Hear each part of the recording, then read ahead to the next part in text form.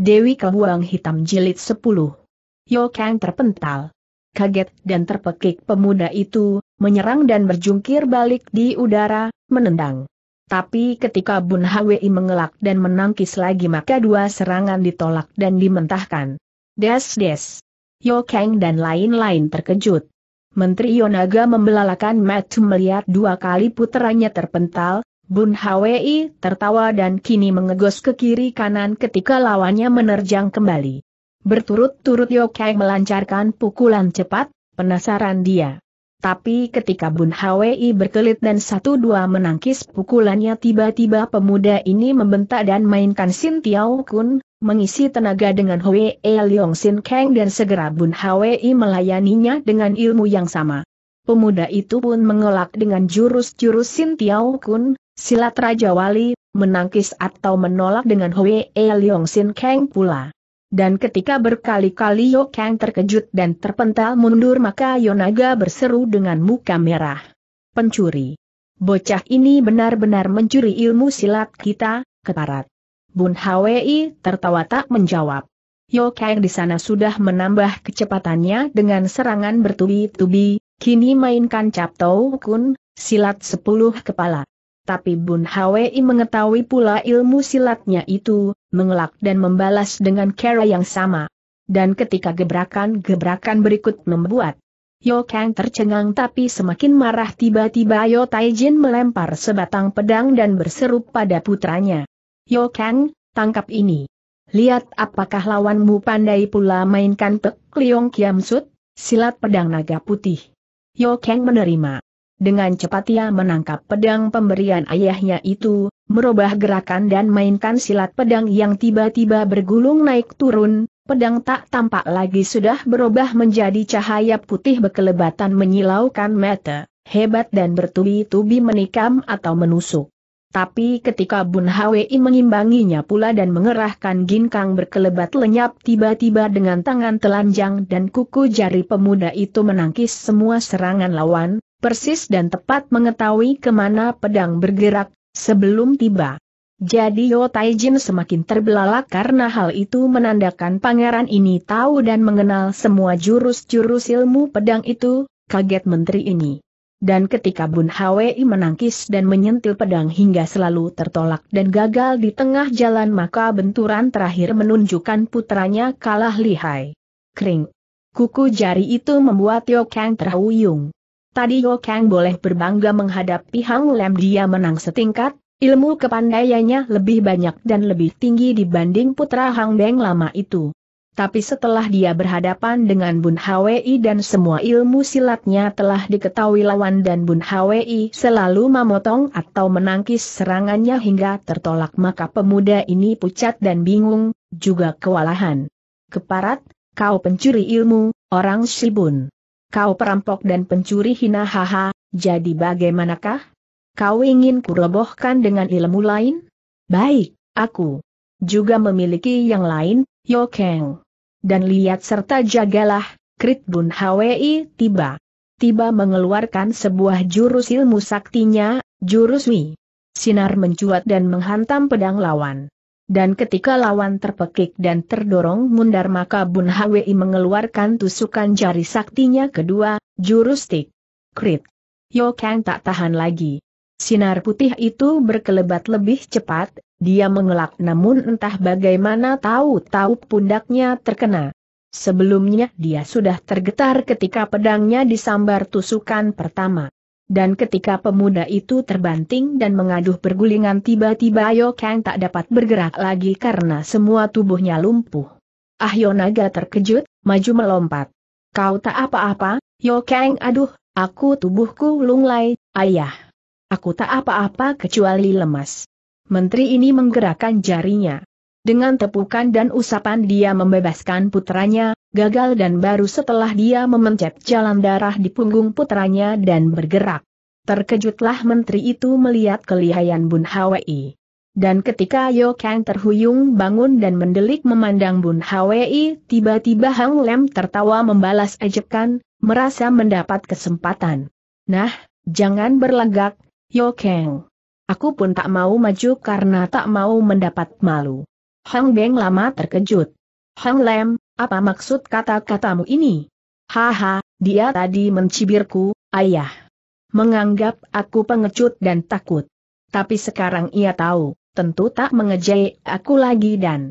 Diam Hang Beng lama tiba-tiba membentak. Tutup mulutmu, Hang Lem dan cepat minta maaf pada Yo Kong Chu dan merah karena terkejut lama ini mencengkeram putranya, malu tapi juga khawatir karena kata-kata Hang Lem itu bisa membuat berbahaya bagi hubungan mereka. Tapi Yo Taijin dan Yo Kang yang rupanya lebih memperhatikan Bun Hwi daripada omongan itu sudah menggoyang lengan. Lama, tak usah dihiraukan kata-kata putramu itu. Anakku memang memandang rendah, biarlah dia merasakan ini dan biarlah adikku yang maju dan mendorong Yo Kang memandang salah seorang adiknya menteri ini mengibas lengan. Giam Sute, dapatkah kau membekuk pangeran ini? Tentu, tadi sudah ku beritahu, Suheng. Tapi puteramu mendahului Wud. Dan Giam Lun atau Giam Taijin yang berkelebat di depan Bun Hwi sudah menghadapi pemuda itu dan membentak. Bocah, kau berani menghadapi aku? Bun Hwi tertawa.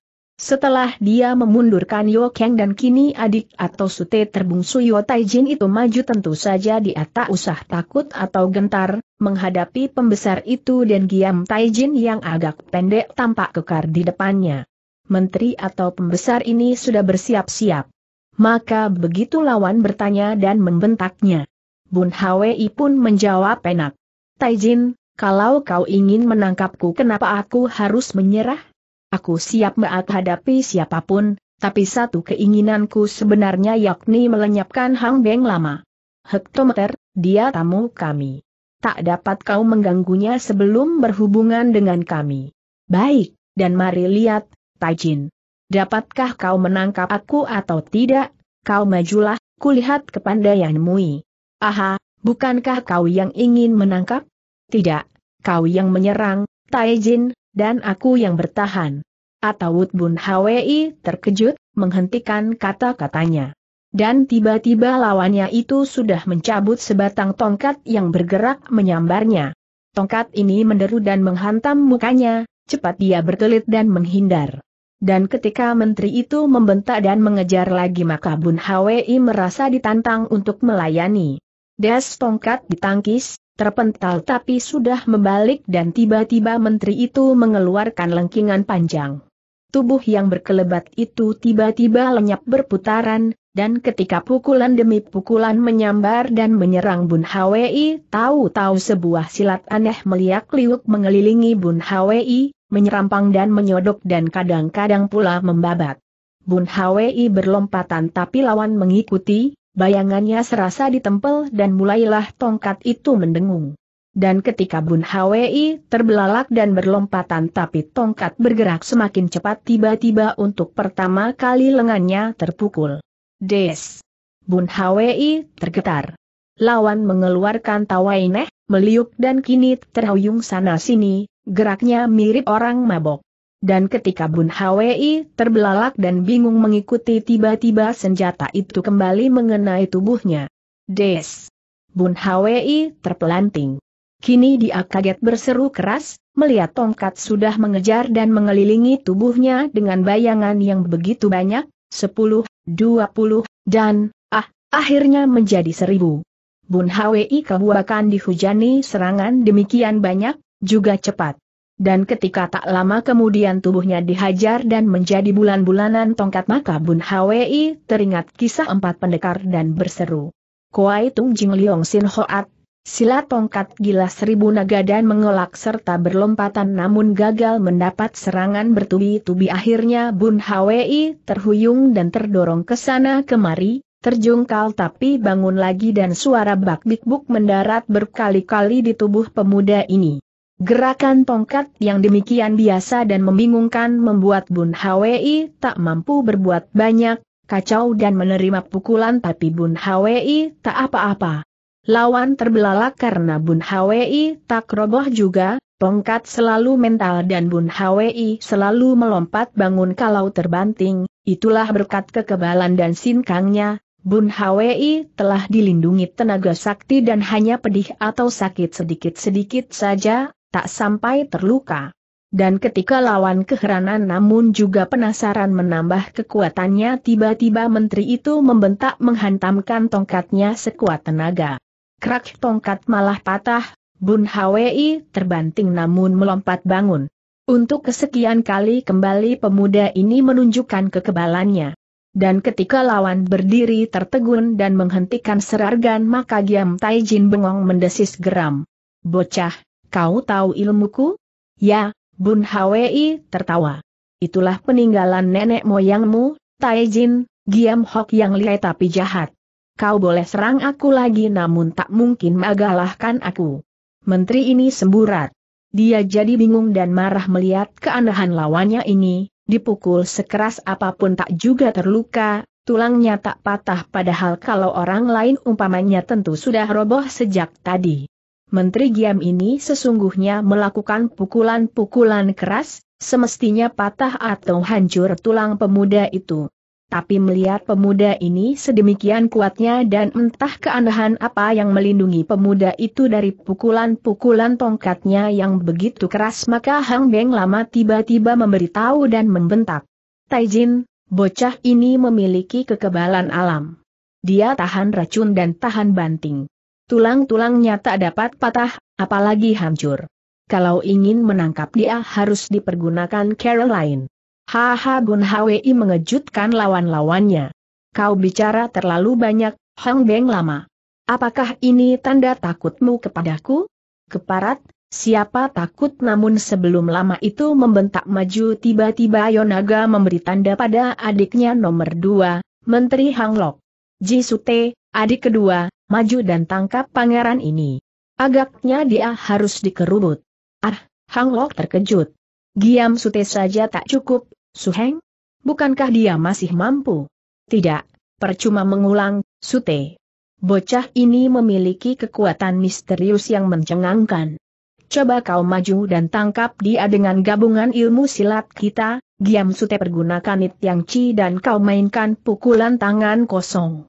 Giam Lun dan kakaknya tertegun. Memang sebenarnya Giam Taijan ini belum bisa dikatakan gagal, menteri itu masih memiliki ilmu silat lain dan juga hit yang ci, totokan jari tunggal maut yang berbahaya. Namun melihat bahwa lawan mereka ini luar biasa dan aneh serta kuat akhirnya Diam Taijin itu mengangguk dan berkata pada kakaknya, Menteri Hang Lok, baik, mari kita coba, Su Heng.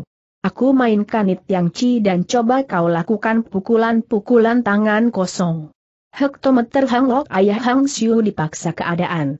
Kalau begitu mari, Sute. Kakak kita menyuruh mengeroyok dan barangkali kita harus membuang malu. Haha, Bun Hwi tiba-tiba tertawa.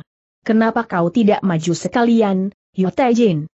Dan Hang Beng lama itu juga, begitu pula putramu dan Hang Lem yang licik itu. Biar kalian semua bergerak dan menangkap aku. Mari, mari kita main-main.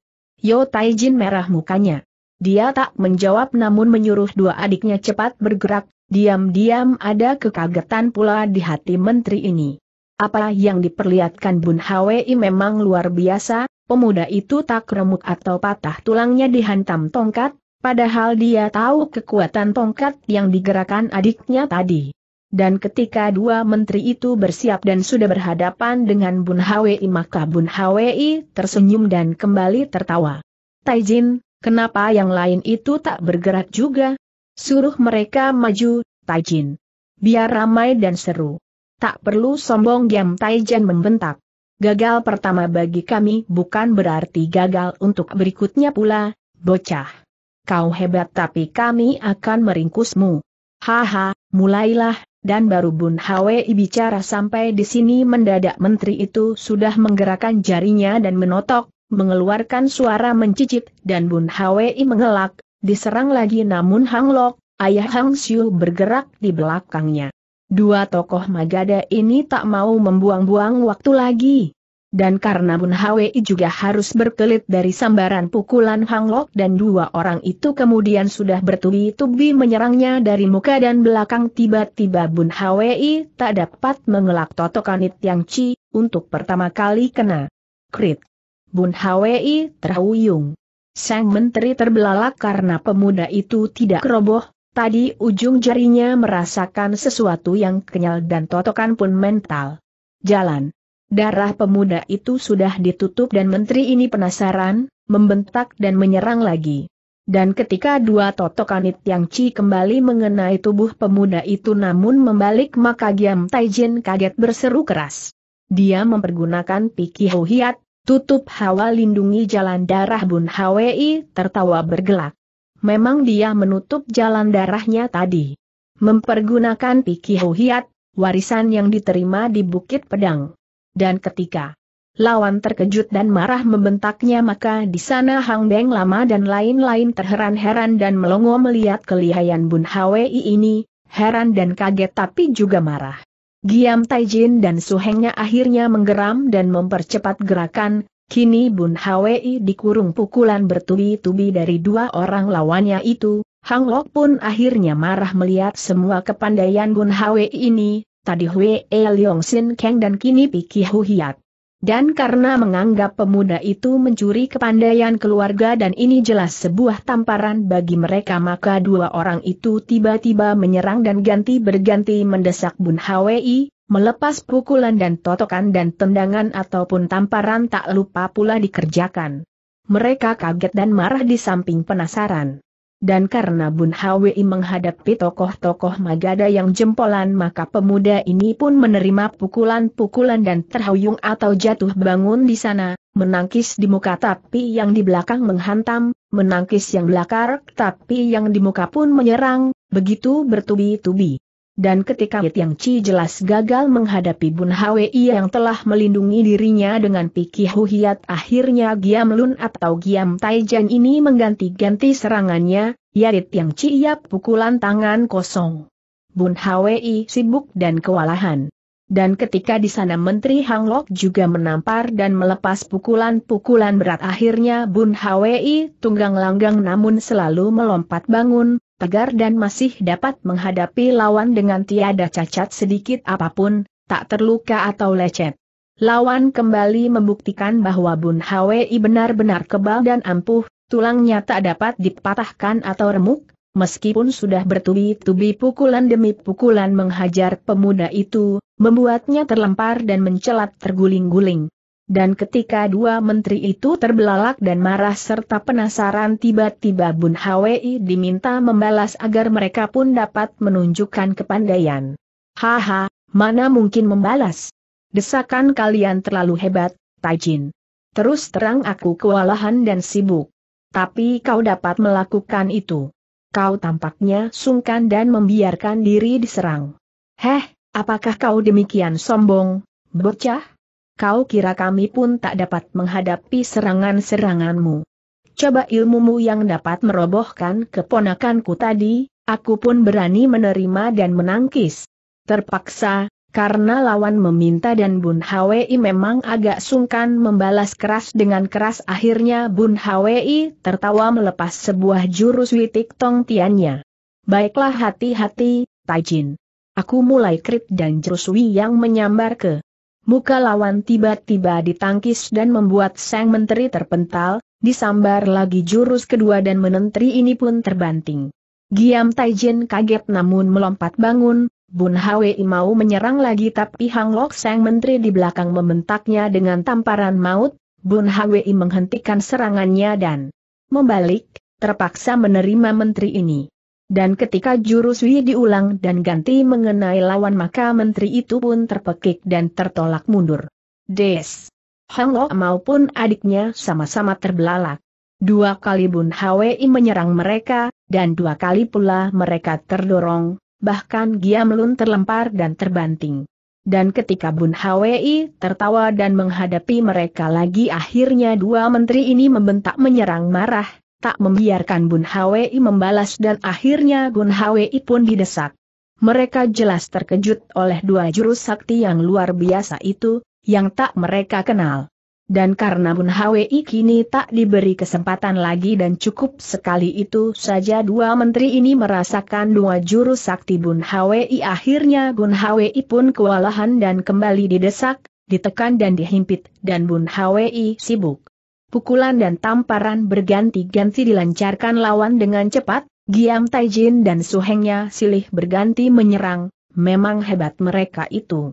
Tapi karena Bun Hwi tak dapat dirobohkan karena setiap kali roboh tentu bangkit dan bangun lagi maka dua menteri ini akhirnya kewalahan dan kebingungan pula menghadapi pemuda yang kebal dan pandai menyelamatkan diri dari totokan-totokan. Keparat, bocah ini siluman. Benar, dia seperti bukan manusia, Suheng. Iblis bagaimana sebaiknya? Tanya Yo Suheng, Sam Heng, kakak ketiga. Barangkali dia tahu atau mungkin ikut membekuk pemuda ini. Hektometer, Yonaga tiba-tiba berbisik, mengerahkan suara saktinya yang tak terdengar Bun Hwi. Ajak pemuda itu bertempur di dalam sute. Dekati pintu kuning dan jebak dia di lantai rahasia. Hangok dan adiknya tiba-tiba berseri. Mereka mendadak teringat sebuah lantai rahasia di gedung kakaknya, melengking dan sama-sama memberi isyarat. Dan ketika pertempuran dipercepat dan perlahan tetapi pasti mereka mulai bergerak dan masuk ke dalam gedung akhirnya Bun Hwi tak sadar dan menghadapi bahaya, bergeser dan berpindah tempat dan Bun Hwi mendekati pintu kuning.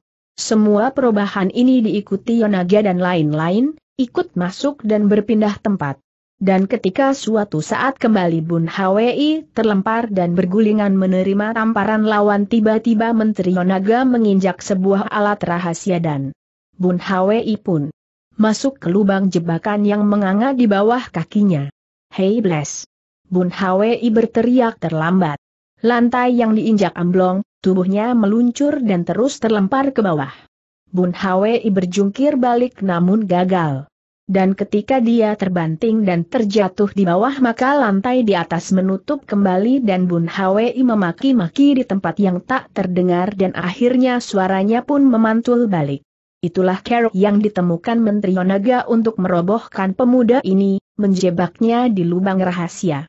Dan ketika Bun Hwi mengumpat dan marah-marah di bawah maka di atas Yo Taijin mengajak teman-temannya berkumpul, membicarakan pemuda itu dan Hang Beng lama memberikan cerita tentang pemuda ini, kehebatannya, keistimewaannya. Dan ketika semuanya tertegun dan mengangguk-angguk maka Yo Taijin memutuskan untuk membunuh Bun Hwi dengan jalan membiarkan pemuda itu kelaparan dan mati di sumur rahasia itu. Tak ada lain jalan. Kita harus membiarkannya di situ tanpa makan minum. Kalau dia kebal dan anti racun biarlah dia mati dengan jalan kelaparan. Seminggu tak mampus tentu sebulan. Sebulan pun tak mampus biarlah setahun. Pasti dia tak tahan. Dan begitu semuanya setuju dan Hong Beng lama menyambut gembira maka Bun Hwi dibiarkan di bawah sana dengan jalan dibiarkan kelaparan. Satu ancaman kematian yang akan berjalan perlahan-lahan tapi mengerikan. Tanda bintang. Kiok Lan, lepaskan aku. Keparat, lepaskan aku Hulan berteriak-teriak ketika hari itu Kiok Lan membawanya ke padang rumput. Hari itu mereka berada di panas yang terik, berkali-kali Hulan menangis dan Kiok Lan pun terkekeh. Gadis ini menanya tentang Bun Hwi, di mana Bun Hwi, dan sedang apa pemuda itu, tak dijawab dan Hulan selalu menangkis tidak tahu. Dan ketika hari itu Kiok Lan menyeret lawannya dan di panas yang terik Hulan dibiarkan tersiksa maka Kiok Lan berhenti dan akhirnya tertawa berkata, Baiklah, kalau kau tak mau mengaku aku akan membiarkanmu dimakan binatang buas. Hektometer, tempat ini mengasyikan, Hulan. Kau ingin aku menggiring seekor harimau dan menyuruhnya menerkamu. Lakukanlah, bunuhlah. Aku tak takut, Kiok Lan. Kau giring seratus harimau kemari dan biar aku mampus. Benarkah? Bohongkah? Aku tak takut ancamanmu, Kiok Lan. Bunuh aku dan lakukan sesukamu. Kiok Lan mendesis. Selama beberapa hari ini dia telah menyiksa lawannya, pernah dua hari dibiarkan kehasan dan Hulan pingsan, diberi minum tapi akhirnya tak mengaku juga. Kiok Lan gemas dan mendongkol. Dan ketika beberapa care penyiksaan juga dilakukannya namun lawan tetap keras hati akhirnya Kiok Lan ingin menakut-nakuti dengan suatu perbuatan berbahaya, mengundang harimau dan membiarkan gadis itu dikubur sebatas kepala. Hai hik, Kiok Lan akhirnya tertawa, metu bersinar-sinar. Kau mau kukubur, Hulan? Kau ingin menikmati maut secara perlahan-lahan? Lakukanlah. Aku tahu kekejamanmu, Kiok Lan. Tapi aku tak akan gentar Plak Kiok Lan menampar, gemas. Aku akan membuktikan. Ancamanku, Hulan. Dan coba lihat seberapa keberanianmu dan Hulan yang terlempar terbanting roboh akhirnya melihat Kiok Lan menggali lubang, cepat dan kuat dan tak lama kemudian sebuah lubang sudah terdapat di depan mereka. Kiok Lan tertawa dan membalik. Dan ketika gadis itu memandang korbannya dan bersiap. Siap melempar maka Kiok Lan bertanya lagi tentang Bun Hwi. Kau tetap tidak mengaku tentang Bun Hwi. Kau tutup mulut dan tetap keras kepala? Hektometer, sekali ku bilang tak tahu tetap tak tahu, Kiok Lan kau boleh lakukan apa saja terhadap diriku. Tapi akhir-akhir ini kau selalu bersama Bun Hwi. Kau bohong. Untuk apa bertanya lagi? Kubur dan benamkan tubuhku di situ, Kiok Lan. Aku akan mati tapi tetap tak memberitahumu. Baiklah, kalau begitu lihat dan haulan yang dilempar dan diberdirikan di Lubauk itu akhirnya ditimbun dan dikubur, tegak dengan mata menyala-nyala dan sedikit pun gadis ini tidak memperlihatkan takut, heran dan kagum Kioklan. Tapi karena sikap lawan justru membuat dia semakin mendongkol dan Haulan digaplok dua kali akhirnya Kioklan menutup tubuh gadis itu sebatas leher. Aku tak membunuhmu, tapi aku akan menggiring seekor harimau kemari. Hulan mencaci dan menangis. Kini Kioklan berkelebat lenyap, dia terkubur sebatas leher, kaki dan tangannya tentu saja tak dapat digerakkan. Jangankan kaki atau tangan, kepala yang tertanam sebatas leher juga sulit digerakkan. Dan ketika sejam kemudian Hulan ditinggal begitu dan dipanggang terik matahari mendadak dari jauh terdengar gerengan harimau disusul munculnya Raja Hutan itu, Kiok Lan tak kelihatan. GRR Hulan pucat, mendengar raung si Raja Rimba yang berlari menuju ke arahnya, menoleh ke belakang tapi tak ada apa-apa di belakang. Hulan terbelalak dan tentu saja berkeringat. Ia tahu bahwa ini pastilah perbuatan Kiok Lan, mungkin gadis itu bersembunyi dan tertawa dari jauh, menontonnya. Dan karena kemarahan tiba-tiba berkobar lagi dan harimau berlari kian dekat, tiba-tiba Hulan membentak dan berseru dengan tubuh terbenam. Kucing siluman, terkamlah aku. Inilah aku harimau itu mendadak berhenti. Bentakan atau teriakan Hulan itu membuat dia terkejut, cakar meregang dan ia pun menggeram, merunduk dan maju tapi Hulan membentak-bentaknya menyuruhnya mencaplok dan Hulan pun melakukan itu sambil menangis. Aneh, si Raja Rimba tiba-tiba berhenti, lagi-lagi merendek. Rupanya dia heran tapi juga curiga melihat sepotong kepala di atas tanah, tidak bergerak kecuali bola mata atau mulut yang memaki-maki. Hulan memang nekat dan siap dicaplok. Gertakan Kiok Lan justru disambutnya dengan tantangan tegar, Hulan ingin segera mati dan tidak dicekam ketakutan lagi. Tapi ketika si harimau menggeram dan memandangnya dengan tubuh mendekam tiba-tiba Hulan malah jengkel dan melotot. Hayo, terkamlah aku. Bunuhlah aku. Si harimau kaget. Dia tersentak, mengaum dan tiba-tiba berdiri. Dan ketika Hulan melotot dan marah-marah kepadanya mendadak harimau ini melesat, menerkam kepalanya. Wut! Hulan merasa ajal. Dia meramkan matu dan siap dalam keadaan begitu tak mungkin dia selamat dan lolos. Harimau yang dibentak terkejut dan menerkamnya. Tapi ketika Hulan merasa desir angin melewati kepalanya dan harimau jatuh di belakang tiba-tiba terdengar suara buk dan harimau itu pun mengaum kesakitan, membalik tapi Kiok Lan tiba-tiba sudah ada di situ, menyambit dan ternyata menyelamatkan korbannya dengan timpukan ke bokong si Raja Hutan, tertawa dan membentak harimau itu. Dan ketika si harimau melihat Kiok Lan dan kaget serta meraung tinggi tiba-tiba binatang buas ini melompat jauh dan melarikan diri. Hai hik, kau berani, Hulan. Kau gagah. Kau pantas menjadi putri Hutaijin keparat Hulan memaki. Apa maksudmu menakut-nakuti aku, Kiok Lan? Kau kira aku menyerah dan takut? Hehe, aku percaya, Hulan. Kau benar-benar pemberani. Tapi sekarang kita bertaruh, kali ini kau pasti ketakutan Kiok Lan kagum, ketemu batunya dan untuk ini dia kalah. Hulan benar-benar pemberani dan tegar, tak mempan segala siksaan yang bagaimanapun. Tapi menjengek mengitari gadis itu tiba-tiba Kiok Lan berkata, Hulan, sekarang ada satu ujian terakhir bagimu. Kalau kau tak takut maka kau kubebaskan, aku tak bertanya lagi tentang Bun Hwi. Tapi bagaimana kalau kau menyerah? Bagaimana kalau kau ketakutan? Jahanam, kau boleh menakut-nakuti aku dengan segala cara, Kioklan. Tapi aku tak mundur dan tak gentar. Kematian pun ku sambut gembira. Hektometer, jangan sombong. Bagaimana kalau sebaliknya? Ayo kita bertaruh, Hulan. Kalau aku menang kau harus memberitahu tentang Bun Hwi, tapi kalau kau yang menang aku akan membebaskanmu. Kau berani? Apa maksudmu? Aku akan menguji keberanianmu sekali lagi. Ada sesuatu yang akan kulakukan. Berani kau menerimanya? Hulan tertawa, berapi-api. Kiok Lan, kau gadis siluman yang berwatak curang. Kenapa tidak membunuhku saja dan habis perkara? Untuk apa lagi banyak bicara? Hektometer, aku penasaran melihat keberanianmu, Hulan. Dan terus terang aku kagum. Kini aku ingin mengujimu yang terakhir kali, berani kau menerimanya? Kenapa tidak? Seratus kali pun aku sanggup, Kioklan. Dan jangan harap aku menyerah. Jangan sombong, cukup sekali saja, bocah. Dan nyatakan janjimu kalau kau ketakutan aku tak akan ketakutan.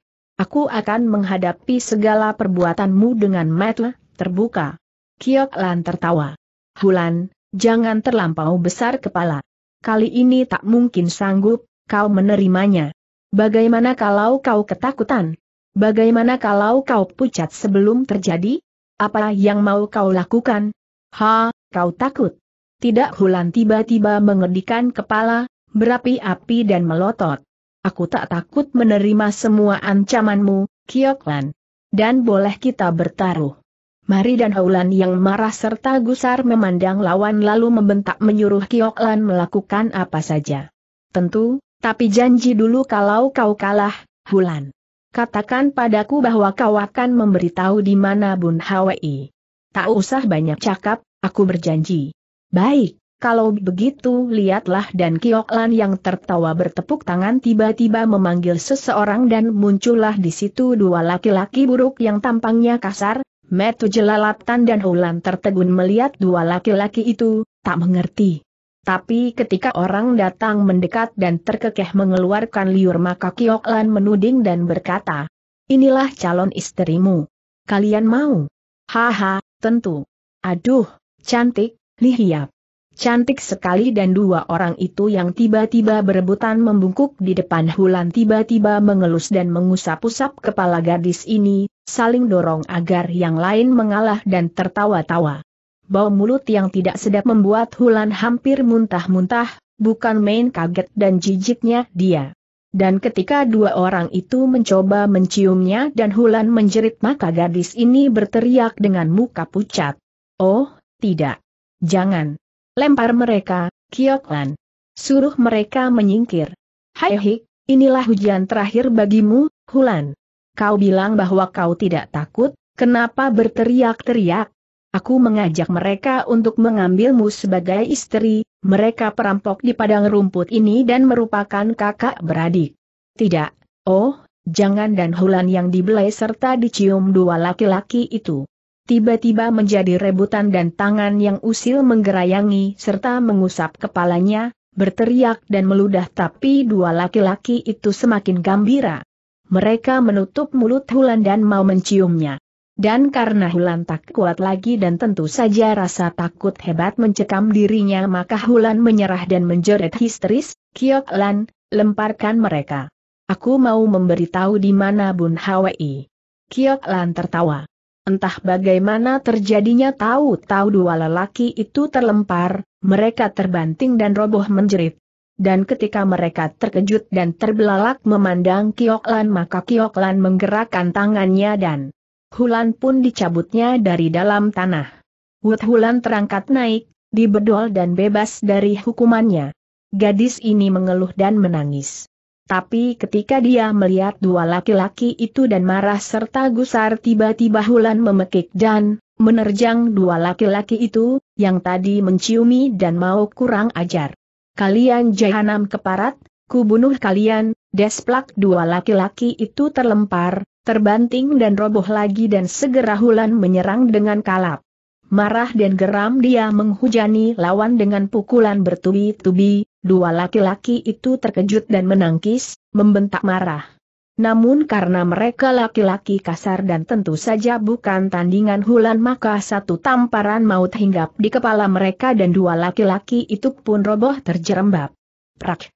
Leher mereka tertekuk lunglai.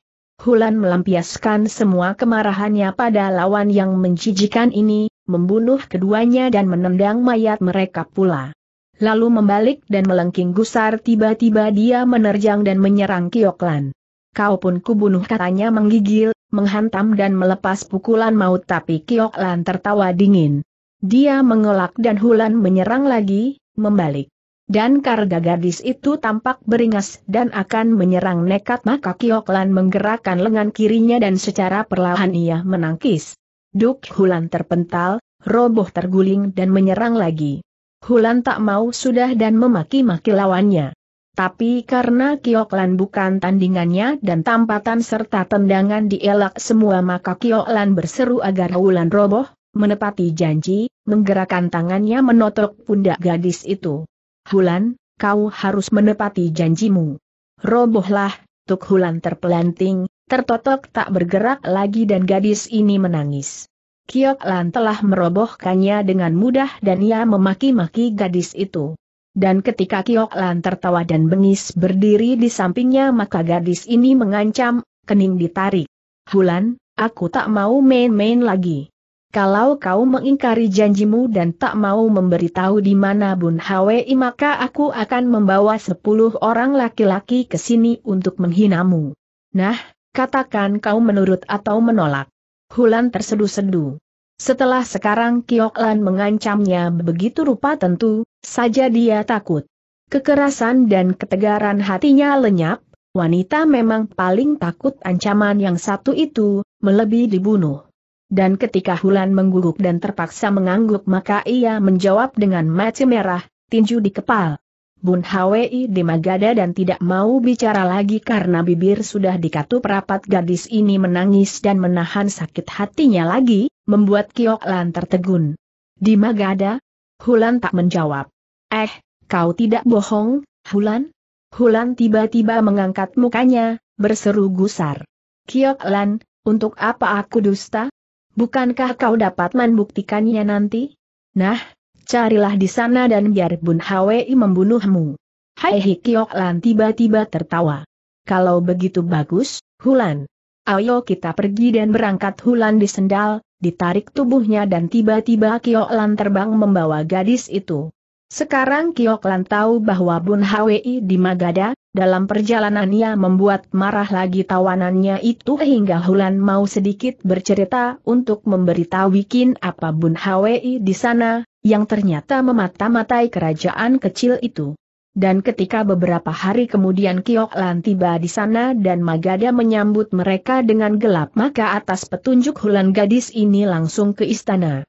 Kau selalu bersamaku, kita ke sana. Hulan diam saja.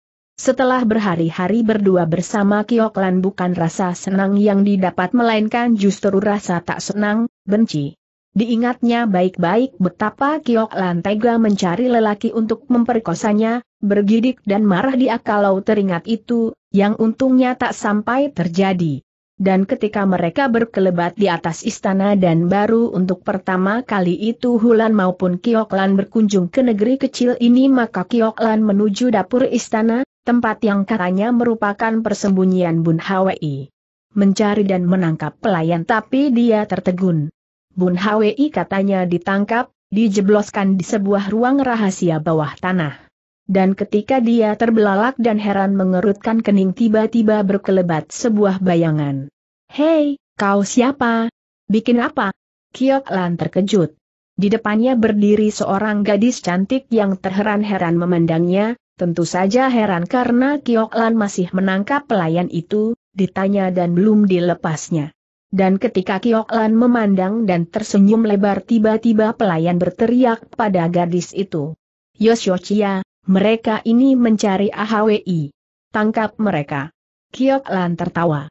Tiba-tiba dia menendang dan melempar pelayan itu, yang jatuh terbanting dan tidak bergerak lagi, pingsan. Hulan di sebelahnya dengan tangan di borgol, hal yang lagi-lagi membuat gadis itu heran. Dan ketika Kiok Lan menendang pelayan dan membalik menghadapinya maka gadis itu bersinar-sinar bertanya padanya. Kau siapa? Kau tahu di mana Bun Hui? Gadis ini, yang bukan lain Siulan adanya tertegun. Tentu saja dia tak senang karena pertanyaannya dibalas pertanyaan, marah dan mendengus. Tapi mendengar orang bertanya tentang Bun Hwi dan dia menjengek maka Siulan menjawab dingin. Aku Siulan, Putri Yotajin. Kau siapakah dan mengapa mencari Ahwi? Kawan atau musuhnya? Hai Hik, aku musuh tapi juga kawannya, Yoshochia. Kalau begitu kebetulan kau di sini. Ayo tunjukkan padaku di mana Bun Hwi, Wut Kiok Lan yang maju menyambar lawan tiba-tiba bergerak dan sudah menangkap lawannya, mencengkeram pundak dan Syulan tentu saja marah. Dia sudah bersiap dan tentu saja berkelit. Tapi ketika jari itu tetap terjulur maju dan entah bagaimana pundaknya siap disambar tiba-tiba gadis ini membentak dan menangkis. Plak dan Siulan pun terpelanting. Gadis ini kaget berseru keras, melempar tubuh bergulingan dan Kiok Lan mengejar. Gadis ini tertawa dan memburu lawannya, Siulan terkesiap dan membentak. Dan ketika jari itu kembali sudah dekat dan Siulan kaget setengah mati maka gadis ini mencabut pedangnya dan membacok. Kring. Pedang itu bertemu kuku jari. Siulan mencelos dan berseru tertahan, lawan tak apa-apa dan pedangnya terpental, kaget gadis itu. Dan ketika dia bergulingan menjauh namun lawan tetap mengejar maka bertubi-tubi membacokkan pedangnya itu, tetap terpental dan gadis ini pucat. Dan karena kuku jari itu selalu menyentilnya dan ke mana pun ia pergi ke situ pula lawan mengejar maka Siulan akhirnya mengeluh dan memanggil pengawal, berteriak bahwa musuh mendatangi istana. Tempat itu tiba-tiba menjadi ribut dan Kiok Lan gemas. Gadis ini cukup lihai. Tapi, karena dia mempercepat gerakannya dan tentu saja tak mau dikeroyok pengawal yang kini mulai berdatangan maka Kiok Lan menambah tenaganya dan pedang di tangan gadis itu pun lepas, mencelat dan sebuah totokan tak dapat dihindari Osyochia ini lagi. Siulan mengeluh ketika roboh. Dan ketika lawan menyambarnya sambil tertawa dan tujuh pengawal berdatangan membentak maka Kiok Lan berjungkir balik dan melayang di atas kepala mereka, sekalian melepas tendangan ke kepala pengawal-pengawal itu. Minggir, des des des. Pengawal berjengkangan. Mereka tentu saja tak dapat menahan Kiok Lan, yang kini sudah meluncur dan hinggap di atas genteng. Dan ketika pengawal berteriak dan memburu keluar maka Kiok Lan lenyap berjungkir balik ke atas wuwungan yang lebih tinggi. Yoshiochia diculik. Yoshiochia diculik. Gegerlah tempat itu. Kiok Lan telah membawa lari korbannya, Hulan selama ini tak jauh darinya dan berlompatanlah gadis itu dari satu gedung ke gedung lain. Kiok Lan bermaksud keluar dari istana. Tapi karena tempat itu tak dikenal dan baru pertama ini ia memasuki Magada maka ia malah kesasar di gedung Menteri Giam, yang saat itu kebetulan meloncat keluar mendengar gentar tanda bahaya. Hei, siapa kau? Kiok Lan memandang rendah. Bayangan Giam Taijin yang mengejarnya di samping kiri dikibas, tanpa menoleh dia menampar menteri itu. Tapi ketika dua pukulan mereka bertemu dan Kio Lan terpeleset di depan mendadak gadis ini terkejut dan lawan pun yang terdorong setindak sudah berjungkir balik dan malah melewati atas kepalanya. Mut Menteri Giam melepas pukulan ke pundak, sambil berjungkir balik ia melakukan serangan, Jelas ini menunjukkan kepandaiannya yang tinggi dan Kiok Lan terkejut. Tapi karena tetap memandang rendah dan tidak mengenal menteri itu maka ia pun menangkis dan melempar Syulan ke atas. Des! Kiok Lan dan lawan sama-sama berseru kaget.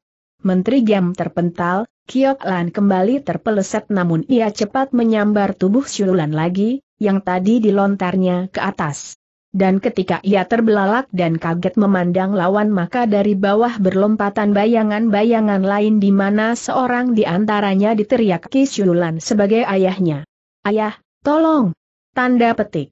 Kiok Lan terkejut. Hulan yang ada di sampingnya masih menjadi tawanan, berarti dia harus mengawasi gadis itu agar tak melarikan diri. Dan ditambah siulan yang kini menjadi beban dan berteriak pada seorang laki-laki gagah yang berjungkir balik di sebelah kanan tiba-tiba Kioklan merasa bingung dan marah. Karena itu, begitu Giam Taijin terpental ke belakang dan Yosu Kie, menteri yang diteriaki siulan itu membentaknya dari kanan tiba-tiba Kioklan melesat dan mengelak pukulan menteri itu. Brak! ujung genteng sompal, Kiok Lan terbelalak karena lagi-lagi seorang lawan berat muncul, dia berjungkir balik dan menotok urat gagu gadis itu, kini Syulan tak dapat berteriak lagi dan Kiok Lan menuju hubungan paling tinggi. Dia dikejar namun tidak takut, Hulan diseret, dan tentu saja gadis itu pun memaki-makinya sepanjang jalan, Kiok Lan tak peduli dan tertawa. Dan ketika dia tiba di wuwungan itu dan dapat melihat bahwa jalan keluar ternyata ada di depan tiba-tiba Kiok Lan mengerahkan ginkangnya dan anjlok ke bawah, dengan dua beban di kiri kanan tubuhnya.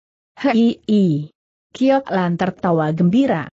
Dia telah terjun dan tiba di bawah, dengan selamat. Ilmu meringankan tubuhnya memang luar biasa dan para pengejar bengong. Mereka itu kagum tapi cepat mengejar lagi dengan seruan keras, Yosukia dan adiknya marah membentak gadis itu. Tapi ketika Kiok Lan membalik dan melepas jarum-jarum rahasia mendadak dua menteri itu disambar dan terpaksa berkelit, menunda pengejarannya dan waktu itu cukup bagi Kiok Lan. Gadis ini tertawa aneh meneruskan larinya dan ketika dia tiba di tembok istana dan langsung melayang naik melompati tembok yang tinggi itu tiba-tiba tubuhnya lenyap di luar sana, cepat sekali. Kejar. Semua kaget. Kiok Lan telah mengerahkan ginkangnya yang begitu mentakjubkan, dengan dua orang di tubuhnya tetap saja dia enak bergerak, tak terganggu. Dan ketika gadis itu berlari cepat dan secara cerdik namun lihai ia menyelinap dan berkelebatan dengan kero miring ke kiri dan ke kanan akhirnya bayangannya lenyap dan menghilang entah ke mana. Diumpat Caci dan Giam Taijin serta kakaknya kaget, mereka baru kali itu menghadapi seorang gadis begini hebat, mencari namun gagal dan akhirnya mereka kembali ke istana. Maganda geger oleh diculiknya Yosulan. Dan sementara Yosuke kebingungan dan tentu saja marah-marah oleh kejadian ini maka jauh di sana, di tempat aman, Kiok Lan telah menyembunyikan korbannya, mengorek keterangan. Jadi kau putri Yosuke bukan Yonaga? Ayahmu itu orang nomor berapa di istana? Keparat, ayahku nomor berapa tak usah kau tanya, gadis siluman. Pokoknya kembalikan aku atau kau akan dibunuh. Hai hik, siapa dapat membunuhku? Aku tak takut ayahmu itu atau siapa pun, Siulan. Sekarang sebaiknya kau tinggal di sini dan baik-baik menurut perintahku. Apa yang mau kau lakukan aku mencari Bun Hwi. Dia di gedung pamanku, Siulan tiba-tiba terkejut, menghentikan omongannya dan rupanya kelepasan bicara, terbelalak dan berhenti memandang Kioklan.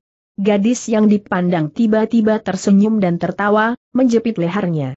Dan karena Kiok Lan telah membebaskan urat gelagu lawannya dan penasaran melihat Syulan tak melanjutkan keterangannya tiba-tiba dia bertanya dengan mata penuh harap. Lanjutkan omonganmu, di mana Bun Hwi? Bukankah pamanmu banyak?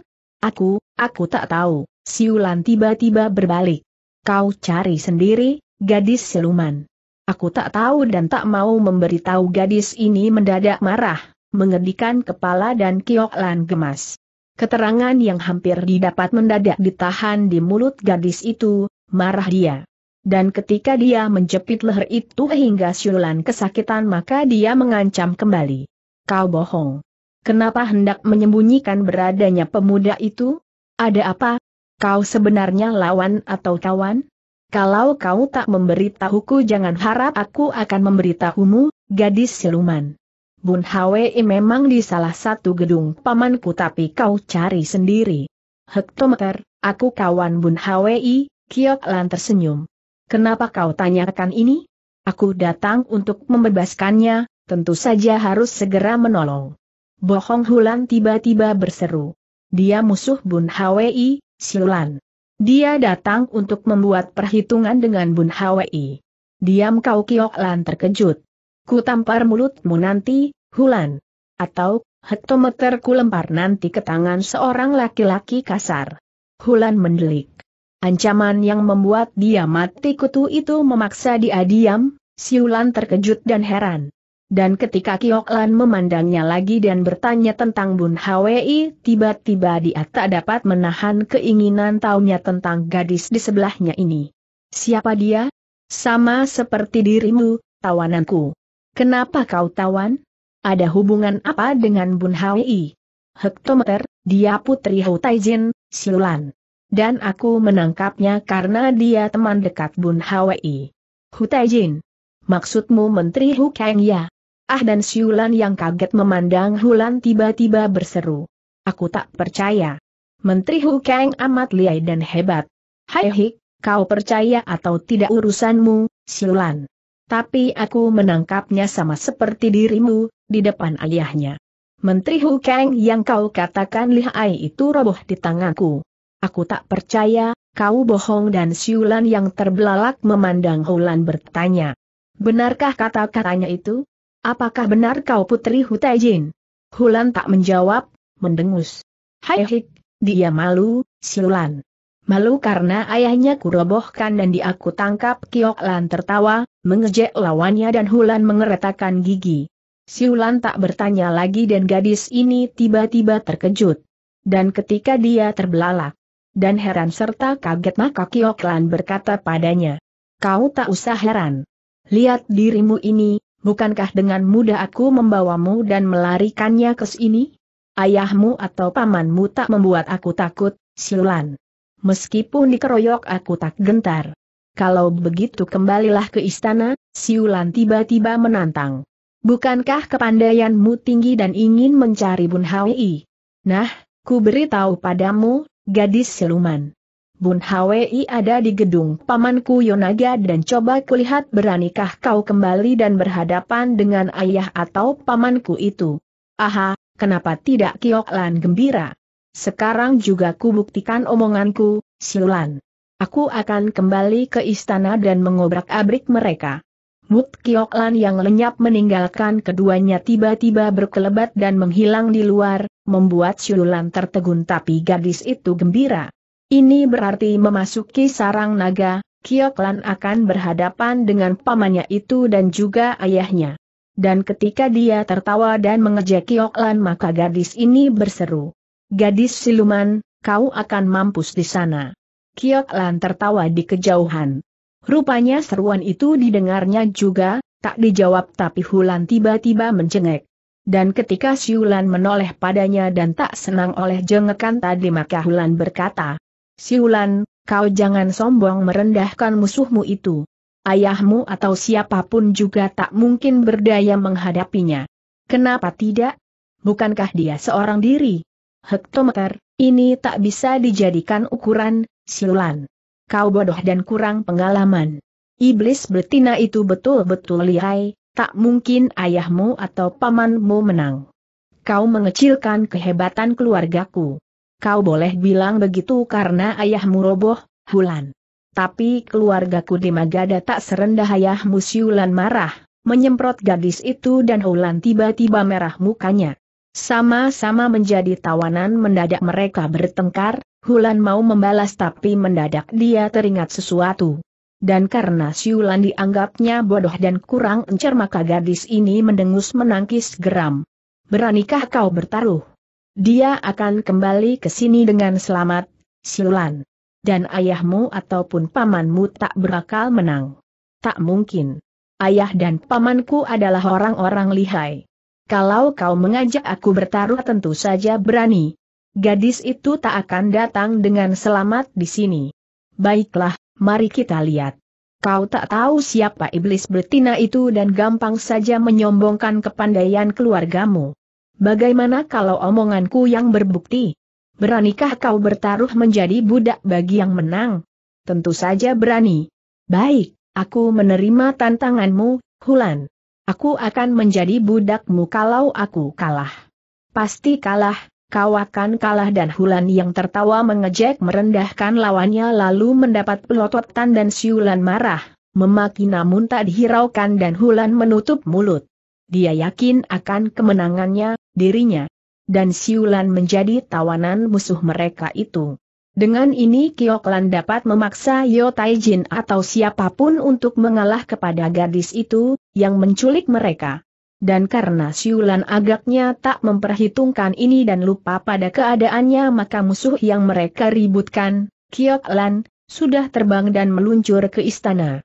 Tentu saja istana geger. Kedatangan Lan yang begitu berani namun tidak membawa tawanannya alias seorang diri sudah membuat pengawal ribut. Lan mulai mengenal gedung-gedung di situ dan kembali ke dapur istana. Dari sini ia melayang turun dan mencari tahu gedung Yonaga, langsung saja, ke pokok sasaran. Dan ketika diketahuinya bahwa gedung menteri itu hampir bersebelahan dengan gedung Yam Taijin, yang tadi menyerangnya maka Kioklan sudah sampai di gedung ini. Tapi Yonaga ternyata tak ada. Seorang pengawal yang ditangkap memberitahu bahwa menteri itu sedang berada di gedung Losu Kie, ayah Shulan. Di sana berunding dan bertemu dengan adik-adiknya. Kiok Lan tertawa dan melepas pengawal ini, yang dibantingnya roboh. Dan ketika dia mendapat tahu gedung itu dan melompat turun memasuki pintu yang terbuka lebar maka dia membuat terkejut pengawal yang berjaga di depan, melihat Kiok Lan melayang dan hinggap seperti burung. Hei, dia gadis itu. Pengacau itu. Ributlah pengawal. Mereka berjumlah empat dan langsung menubruk, Kiok Lan diterjang tapi gadis itu memapak dan kerika jarinya bergerak dan sebuah tamparan menyambut senjata pengawal-pengawal itu maka tombak dan golok patah-patah. Panggil Yo Taijin. Beritahu aku datang plak Rekioklan dengan mudah. Mematahkan tombak atau golok ini, membuang ke samping dan pengawal pun terpelanting. Mereka didorong dan terpekik berteriak tak keruan. Dan ketika Kiok Lan meloncat masuk dan dengan tenang ia memasuki gedung itu maka pengawal di sebelah dalam terkejut dan berteriak pula. Dia gadis itu. Awas, Seng penculik. Kiok Lan terkekeh. Beberapa pengawal tiba-tiba menubruknya lagi, semua mengenal dan tentu saja kaget. Tapi ketika Kiok Lan menangkis dan senjata berpelantingan di susul tubuh mereka maka gedung Yosukie ini ribut gempar dan tak lama kemudian Kiok Lan pun dikepung. Pengawal meminta agar gadis itu menyerah, Seng Menteri ada di dalam dan kebetulan sekali dia datang. Tapi Kiok Lan yang melempar-lempar mereka dan justru memberitahu agar Seng Menteri keluar sudah membuat gelentar dan paniknya semua orang. Suruh dia keluar, aku sengaja datang untuk menemui. Tak ada lain jalan. Pengawal akhirnya masuk dan melapor, terbirit-birit. Di dalam memang terdapat Yo Taijin itu bersama saudara-saudaranya, tentu saja sudah mendengar ribut-ribut di luar. Dan ketika mereka masuk dan memberitahu tiba-tiba beberapa bayangan berkelebat dan Yo Taijin atau Menteri Yosukia itu sudah keluar bersama adik-adiknya, juga suhengnya nomor dua, Menteri Yonaga. Bocah keparat, kau benar-benar berani mati dan Yosukia serta lain-lain yang tertegun namun sudah mengepung akhirnya terhenyak dan melihat Kiok Lan tertawa, bertolak pinggang dan Kiok Lan sama sekali tidak takut menghadapi tokoh-tokoh Magada ini. Yosukie, yang sudah dikenalnya tampak mendulik, mau menyerang tapi menahan karena tak melihat puterinya di situ. Maklumlah menteri ini bahwa puterinya di bawah kekuasaan lawan. Dan ketika mereka semua tertegun dan mau tak mau menjadi kagum juga maka tuan rumah, Yosukie membentak. Gadis siluman, mana puteriku? Hektometer, Kiok Lan tertawa. Tak perlu buru-buru, Taijin. Bukankah kau Yosukie? Mana yang bernama Yonaga?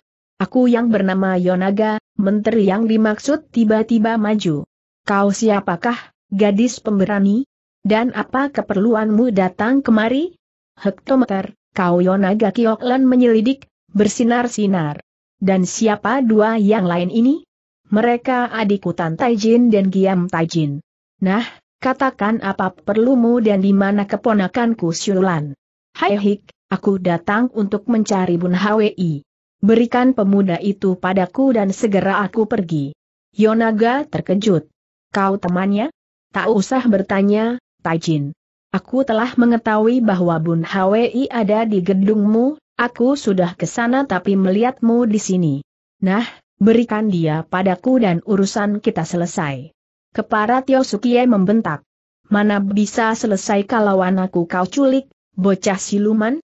Serahkan dulu dia kepada kami dan baru setelah itu kita bicara. Kiok Lan memutar tubuhnya, tertawa. Kau tak perlu buru-buru, Taijin. Anakmu selamat dan tak kuapa-apakan. Lebih baik bicara tentang Bun Hwi dulu dan masalah puterimu dibicarakan belakangan. Wut sebuah jari tiba-tiba menotok, Giam Lun atau Giam Taijin yang melihat kesempatan bagus dengan membaliknya Kiok Lan menghadapi kakaknya tahu-tahu sudah menyerang, langsung saja mengeluarkan Nit Yang Chi. Ini pun atas isyarat kakaknya, Yonaga. Tapi ketika jari itu bergerak dan jalan darah di pundak yang ditotok mendadak menggelincir tiba-tiba Menteri Giam berseru kaget karena totokannya tak berhasil. Tuk! Kiok Lan terkekeh dan cepat membalik lagi dia tentu saja tidak bodoh, memasang kewaspadaan dan melindungi diri. Dan ketika lawan tertegun dan terbelalak memandangnya Kio Lan berseru agar lawan tidak berbuat curang. Hei, kau mau apa, Giam Taijin? Kenapa curang dan tak tahu malu menyerang dari belakang? Awas, sekali lagi begitu aku tak akan menghargai kalian sebagai tokoh-tokoh Magada dan kembali menghadapi Yosukie atau Yo Taijin gadis ini bertanya. Nah, bagaimana, Taijin, kau mau memberikan Bun Hwi kepadaku? Mut kini totokan dilakukan oleh Menteri Tan, yang kaget dan penasaran melihat totokan adiknya gagal. Dengan cepat dan tenaga cukup tentu saja menteri ini mempergunakan kesempatan itu karena Kiok Lan kini memberikan punggungnya kepadanya, dua jarinya bergerak dan menotok punggung lawan.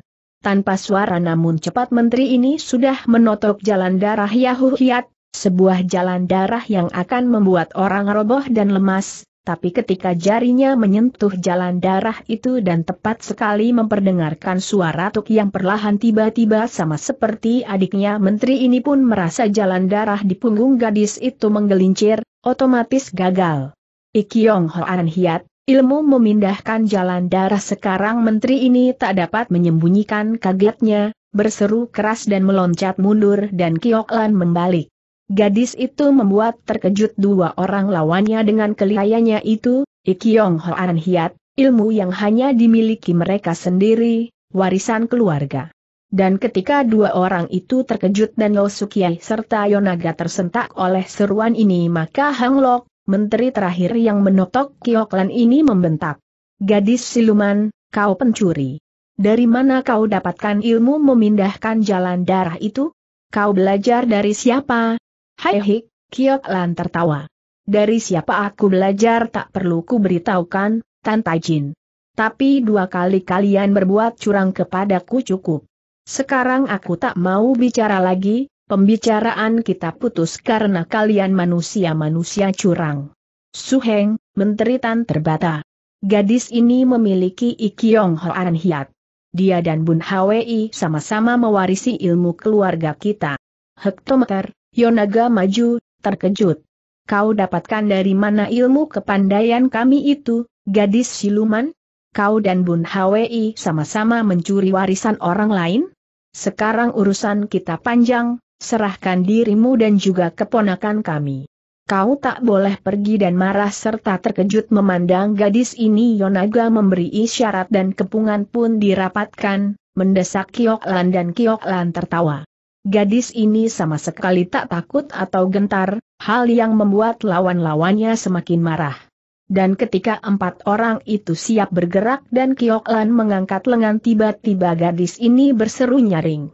Tahan, aku dapat membunuh Chulan kalau kalian mengeroyok. Serahkan Bun HWI kepadaku dan kita tukar-menukar. Hektometer, urusan tak segampang tadi, gadis siluman. Kau mencurigakan kami dan tak semudah itu kau bicara. Kau berada di sarang naga, tak selayaknya kau memerintah kami karena kamilah yang harus memerintahmu dan membentak menyuruh adiknya maju tiba-tiba Giam Taijin menghantam dan melepas pukulan dari samping, dikelit tapi Yosukie menyambut. Kiok Lan tiba-tiba menghadapi dua orang sekaligus. Dan karena dua yang lain bersiap di muka dan belakang dan apa boleh buat terpaksa Kiok Lan menangkis maka gadis ini menggerakkan lengan dan menangkis dua pukulan itu. Duk-duk, Dua orang itu terpental. Giam Taijin dan kakaknya terkejut, mereka berseru keras menyerang lagi.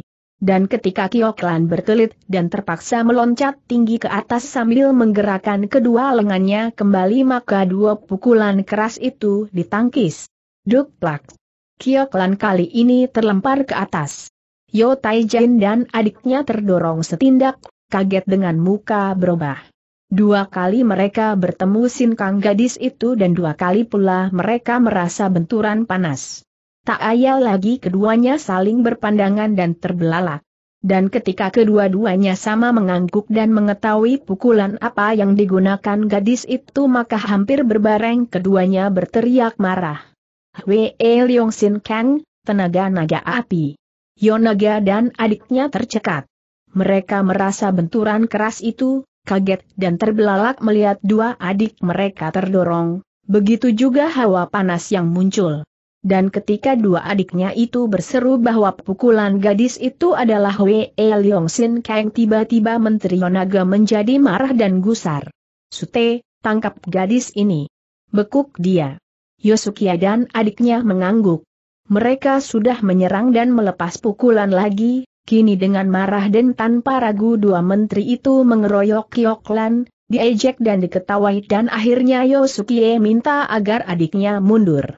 Dialah yang lebih berkepentingan karena puterinya lah yang diculik gadis ini.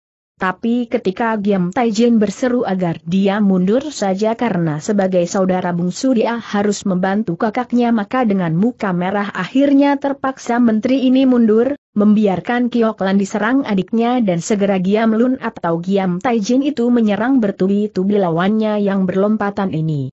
Kiok Lan mengelak dan menangkis dan ketika pukulan demi pukulan menggetarkan tempat itu dan selalu Giam Taijin terdorong oleh Wei Leong Sin Kang maka menteri ini kaget dan pucat, tak lama kemudian melihat Kiok Lan mainkan Sin Tiao Kun, lalu tamparan-tamparan atau pukulan ganas yang kian lama kian cepat. Kiok Lan tertawa dan terkekeh-kekeh menghadapi lawannya itu, menyuruh yang lain maju dan Yo Taijin serta yang lain-lain terbelalak, tentu saja marah. Dan ketika adik mereka itu selalu terdorong oleh Wei Leong Sin Kang yang dikeluarkan gadis ini akhirnya Yo Taijin menyuruh adiknya mengeluarkan Toat Beng Mo Kun, silat iblis pencabut nyawa, melihat bahwa untuk Sin Tiao Kun atau lain-lain agaknya Kiok Lan mengenal. Pergunakan ilmu silat keluargamu, keluarkan Toat Beng Mo Kun. Giam Lun atau Menteri Giam ini mengangguk. Dia sudah merubah serangannya, membungkuk dan berputar. Dan ketika dari bawah ia melakukan dorongan tapi pukulan ini tiba-tiba berubah menjadi cengkeraman mendadak Kiok Lan terkejut karena perutnya tiba-tiba sudah disambar. Brett! Kiok Lan kaget menjauhkan diri. Sang menteri sudah mengejar dengan pukulan aneh lagi, merunduk dan menghantamnya dari bawah. Tapi ketika ia menangkis dan merendahkan tubuh membungkuk tiba-tiba serangan ditarik dan tangan kiri menteri itu menghantam pundaknya dari atas. Des! Kiok Lan terkejut. Untuk berikutnya ia mendapat serangan bertubi-tubi yang tak dikenal, tusukan atau cengkeraman, juga patukan atau tamparan. Sebentar kemudian ia terdesak karena tak mengenal. Dan ketika pukulan demi pukulan mengenai tubuhnya tapi Kiok Lan terhuyung dan hanya terdorong ke sana sini saja maka lawannya kaget mendapat kenyataan gadis ini pun kebal. Tiat posan, ilmu kebal baju besi Seng Menteri pun berseru, terbelalak dan mempercepat gerakannya dan segera saudara-saudaranya yang lain terkejut mendengar itu. Agaknya, seluruh warisan Mira Dewi atau seru Deva, nenek moyang mereka, telah dipelajari gadis ini. Dan ketika sute mereka kembali menyerang tapi mental bertemu kekebalan yang dipergunakan gadis itu akhirnya Yonaga dan lain-lain kaget sekali, melihat Kiok Lan tertawa dan Hwe E Leong Sin Kang itulah yang diandalkannya untuk menangkis, atau Tiat Posan untuk menerima serangan, kalau tak sempat dikelit. Dan ketika Toat Beng Mokun sia-sia menyambar lawan karena setiap pukulan atau tamparan hanya membuat gadis itu terhuyung atau terdorong saja maka menteri ini marah dan bingung karena untuk totokan pun gadis itu telah menjaga diri dengan Ikyong Hoan Hiat. Jadi, diserang dengan care apa pun tak mungkin lawannya itu roboh. Gadis yang dihadapinya ini ternyata sakti. Dan ketika menteri itu gusar dan marah serta lain-lain mendadak Yonaga menyuruh Yosukie atau Hangok maju. Bantu Giam Sute. Coba lihat seberapa banyak dia memiliki ilmu-ilmu kita Hangok sang menteri yang penasaran maju, mendahului saudaranya. Yosu. Kie lagi-lagi harus berdiri di tempatnya menonton. Dan ketika Kioklan dikeroyok dan ganti berganti dua menteri itu melepas pukulan berbahaya akhirnya, seperti yang diharap, tiba-tiba Kiok Lan mengeluarkan ilmu lainnya, Soat Im Sian Likun, silat Dewi Salju yang khas dan memang dikhususkan wanita. Dan begitu ilmu silat ini dimainkan dan Kiok Lan melindungi diri dari pukulan lawan yang berkelebatan mengelilinginya maka Yonaga tertegun dan berseru tertahan. Soat Im Sian Likun. Air, Gadis ini memiliki pula warisan nenek kita Mira Dewi dan Bengong tapi tentu saja melotot menteri itu segera melihat pertandingan adik-adiknya. Betapa mereka menghantam dan memukul tapi selalu membalik bertemu Tiat Posan, ilmu yang juga dimiliki nenek mereka Mira Dewi, ilmu kebal yang membuat semua pukulan mental tak berguna. Dan ketika Kiok Lan terkekeh dan membalas dengan pukulan-pukulan dingin atau soat Im Kang dan tangan kanannya masih mengerahkan Hwe Leong Sin Kang atau pukulan api untuk menangkis serangan lawannya maka Yonaga terhenyak sementara Yosukie juga kaget dan mendelong. Keparat, bocah ini benar-benar pencuri. Dia mengambil dan mempelajari warisan nenek moyang kita. Benar, dan kita kecolongan, Kiete. Dulu Bun Hwi sekarang gadis ini. Ah, aku harus maju dan Yonaga yang terjun membentak keras tiba-tiba menyuruh dua adiknya minggir sementara lengannya menghantam ke depan, meminta adiknya memberi jalan dan tokoh Magada paling disegani ini menyerang Kioklan. Kioklan terkejut tapi tentu saja menangkis, tangan kanannya berisi Hwe Leong Sin Keng. Dan ketika dua pukulan mereka beradu dan Yonaga sama-sama mengerahkan Hwe Leong Sin Kang ternyata Kiok Lan kalah kuat dan terpental ke belakang. Duk! Kiok Lan kalah matang. Yonaga segera mendengus karena sekali gebrakan itu cukup membuat menteri ini tahu bahwa lawan belum lama mempelajari Hwe Leong. Sin Kang, masih di bawah lima tahun, kalah dengan dia yang sudah belasan tahun menekuni ilmu itu. Dan karena gebrakan ini membuat menteri itu lega dan cepat serta sigap lagi ia melancarkan pukulannya maka Kiok Lan terpental lagi ketika menyambut lawan. Duk Kiok Lan kaget. Sekarang gak menyeringai dan menahan sakit dari benturan-benturan itu, maklum bahwa dia kalah matang dan kalah lama. Tapi karena mereka sama-sama mempergunakan Hwe Leong Sin Kang dan memang hanya Menteri Naga ini bersama suhengnya tertua pendekar Handewa yang mewarisi pukulan naga api maka Kiok Lan bertahan dan berkelit atau menangkis jika terpaksa, didesak dan harus mengakui bahwa Hwe Leong Sin Kang yang dimiliki lawannya lebih ampuh dari yang dimilikinya sendiri, maklum, Sang Menteri memang lebih mahir dan lebih lama. Dan ketika Kioklan mulai terhuyung dan terdesak bertemu lawan tangguh akhirnya sang menteri membentak agar dia menyerah. Hai Hik, aku belum roboh, Taijin. Mana mungkin menyerah? Robohkan aku dulu, baru menyerah Kioklan menjawab, tentu saja membuas lawan gusar dan menambah tenaganya, menekan dan mendesak tapi Kioklan masih memiliki ilmu-ilmu lain. Dia mengeluarkan Sin Tiao Kun tapi sang menteri mendengus, tentu saja menindih dan mempergunakan Hwe Leong Sin Kangnya itu. Dalam setiap tamparan atau tangkisan tak pernah menteri ini lupa mempergunakan Hwe Leong Sin Kang, memang itulah satu-satunya ilmu paling tinggi dari leluhur mereka. Dan ketika Lan coba mengerahkan Tiat Posan namun masih ditembus pukulan sakti ini maka Lan kaget dan pucat. Hektometer, Hwe Leong Sin Kang adalah puncak dari seluruh kepandaian kami. Kau tak dapat mempergunakan Tiat Posanmu menghadapi Hwe Leong Sin Kang. Benar saja, Kiok Lan terkejut. Tiat Posan, Ilmu kebal yang diandalkannya itu agaknya tembus bila menghadapi Hwe Leong Sin Kang. Pukulan naga api ini adalah pukulan sakti yang dulu diciptakan Seru Deva, tokoh luar biasa dari Tiantok, India, itu. Dan ketika Kiok Lan terhuyung dan kesakitan ditembus kekebalannya maka gadis ini semakin pucat akan tetapi juga marah, mendengar lagi seruan lawannya. Bagaimana, kau masih tak menyerah juga, gadis siluman? Kau benar-benar ingin kurobohkan dan mampus. Mampuskanlah, kalau kau bisa dan Kioklan yang nekat serta juga marah tiba-tiba membentak dan mainkan soat Im Sian Likun, gagal dan terpaksa mengelaksana sini ketika terdesak, malah keteter dan satu ketika pukulan lawan membuat dia terbanting. Kioklan kaget dan berseru keras. Dan ketika sang menteri mendesak dan menekannya lagi dengan Hwe E Leong Sin Kang tiba-tiba Kiok Lan melengking tinggi dan mengerahkan rambutnya secara bertubi-tubi. Plak-plak-plak. Sang menteri tersentak. Hebat dan luar biasa tiba-tiba sepasang rambut di kiri kanan gadis itu menyambar dan menotoknya, begitu cepat hingga empat lecutan atau sambaran tak sempat ditangkis, meledak dan mengenai pipinya. Dan ketika menteri itu terhuyung dan kaget serta panas maka Kioklan berkelebatan cepat mainkan ilmunya yang aneh, sepasang rambut kebuang itu, yang entah apa namanya, menotok dan menyengat dan tiba-tiba sang menteri terdesak. Kioklan tertawa dan ganti. Mendesak lawannya itu.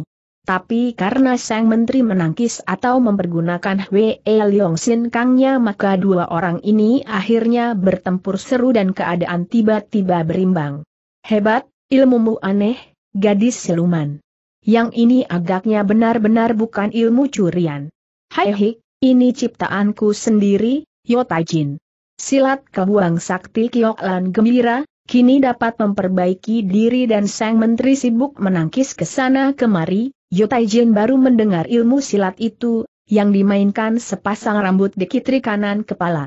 Dan ketika Kiok Lan mendesak tapi terpental oleh Wei Leong Sin Kang yang dipergunakan lawannya maka mau tak mau ia memuji juga menteri itu. Yo Taijin, kau pun hebat. Wei Leong Sin Kang lebih tinggi dari yang kumiliki. Hektometer, kau juga mengagumkan hatiku, gadis siluman. Dan coba tunjukkan lagi ilmu silatmu yang lain, Woodplak Yo Taijin menangkis sebuah totokan rambut, rambut yang bergerak aneh dari bawah ke atas, seolah berjengit, atau barangkali itu jurus kebuang menyengat, menampar dan menolak lagi dan Kiolan penasaran. Sesungguhnya dia sudah melakukan serangan cepat dengan rambutnya itu, totokan atau lecutan, bertubi-tubi namun lawan bertahan dengan Hwe Leong Sin Kangnya yang lihai. Dan ketika pertandingan kembali berjalan sengit dan Kiok Lan mengerahkan ginkang mempercepat gerakannya akhirnya Yo Tai Jen pun berseru keras mengimbangi lawan. Plak-plak. Yang menonton jadi kagum. Yosukia dan adik-adiknya bengong, mereka melihat figur lain yang tak kalah lihai dengan Bun Hwi, pemuda yang sudah mereka tangkap itu. Dan ketika ledakan dan tamparan kembali bertemu dan masing-masing tertolak tiba-tiba berkelebat dua bayangan dan Hong Beng Lama serta putranya muncul. Air, siapa ini Hong Beng Lama berseru? Tentu saja tak dapat melihat tapi dia terkejut oleh angin pukulan yang berseliweran itu. Hang Lem terbelalak di sampingnya dan tertegun. Tapi begitu pemuda itu mengenal dan melihat Kiok Lan tiba-tiba Hang Lem berseru. Kiok Lan. Air, Berhenti, Taijin. Berhenti. Dia bukan lawan tapi kawan dan Hang Lem yang berkelebat serta girang tapi juga kaget lalu berseru pada ayahnya pula, Yah, ini Kioklan gadis yang membantu kita dulu. Suruh Yo Taijin berhenti dan Hang Lem yang mengejutkan Mentrio dan lain-lain sudah disambung seruan ayahnya yang tentu saja kaget tapi juga heran. Yo Taijin, berhenti. Gadis ini bukan lawan dan membentak pada Kiok Lan agar berhenti pula lama itu berseru. Kiok Lan, berhenti. Yo Taijin bukan musuh dan Hong Beng lama yang mengebut serta menampar Kiok Lan akhirnya membuat gadis itu berjungkir balik setelah menangkis pukulan lama itu. Duk Hong Beng lama terheran-heran, terdorong. Melihat betapa tamparan atau kebutannya tadi dibuat mental oleh sabetan rambut yang begitu liai, membuat lengannya tergetar dan lama ini kesemutan. Dan ketika dia berkedip-kedip dengan pelupuk mata kosong sementara Yo Taijin atau Menteri Yonaga menghentikan serangan karena melihat rekannya mengenal gadis itu maka Hang Lem sudah menjura dan berseri-seri memberitahu padanya. Yo Taijin, Nona ini adalah Kiok Lan, orang yang memusuhi Hu Taijin. Dia adalah kawan bukan lawan. Kita sahabat. Hektometer, Sahabat apa Yosuke tiba-tiba maju. Dia menculik puteriku, Hang Kong Chu. Dia membawa Syulan. Eh Hang Lam kaget. Betulkah, Kiok Lan? Hai Hik, Kiok Lan tertawa, mengusap keringatnya dan anak rambut yang menjuntai, manis sekali. Kau ada di sini bersama orang-orang ini, Hang Lam. Bikin apa? Ah, sama seperti kita dulu, Kiok Lan. Bergabung untuk menyerang Hu Taijin. Dan kau, benarkah menculik Siulan? Hang Lem, Hang Beng lama tiba-tiba mengebut. Gadis ini harus diberi adat agar tahu aturan. Kalau benar dia menculik Putri Yo Taijin suruh dia mengembalikan. Atau, kita bekuk dia dan tangkap untuk diserahkan pada Yo Taijin. Hai Hik, Kiok Lan mencengek. Kau jangan sombong merendahkan orang lain, Hang Beng lama. Kalau itu mudah kau lakukan barangkali Yo Taijan tak perlu turun tangan sendiri menghadapi aku. Lihat, aku sanggup menolak tamparanmu tadi. Aku bukan Kioklan beberapa tahun yang lalu yang harus takut menghadapimu. Hang Beng lama terkejut, mukanya merah. Tapi Hang Lam yang tentu saja gembira dan tak mau bermusuhan sudah cepat melerai, diam-diam menaksir gadis ini, timbul suatu niat busuk, setelah kegagalannya dengan Mi Hong, kau tak usah bicara keras, Kiok Lan. Kita adalah sahabat, setidak-tidaknya kita berdua pernah memusuhi Menteri Hu Kang yang kau benci itu. Nah, karena kau menculik Putri Yo Taijin dan apa perlumu datang di Magada? Dia mencari Bun Hwe Yo Taijin memotong. Dan untuk itu dia menculik Xulan. Ah, benarkah Hang Lem terkejut, tapi tiba-tiba girang. Bun Hwi memang ada di sini, Kiok Lan, dan kau dapat membunuhnya kalau suka lalu memberi penjelasan bahwa Kiok Lan memusuhi Bun Hwi karena Bun Hwi adalah sahabat Hu Taijan maka Hang Lem menutup ceritanya dengan kedipan rahasia pada Menteri Yonaga. Taijin, kita terlibat kesalahpahaman. Gadis ini bukan musuh. Kalau dia menghendaki Bun Hwi tentu dapat kita berikan asal siulan dibebaskan. Nah, Hang Lem menghadapi Kiok Lan kembali. Kau tentu tak keberatan dengan usulku ini bukan, Kiok Lan? Yo Taijan dan Magada tidaklah memusuhimu, sebaiknya serahkan baik-baik tawananmu itu dan kami menyerahkan Bun Hwi.